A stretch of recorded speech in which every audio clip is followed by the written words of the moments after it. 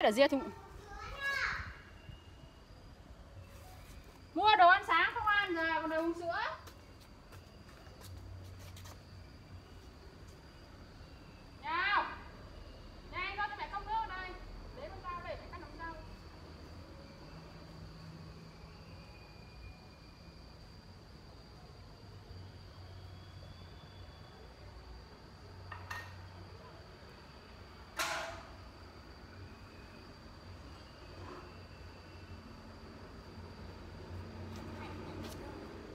dưới đất ở dưới thùng gạo rồi không nghe thế à?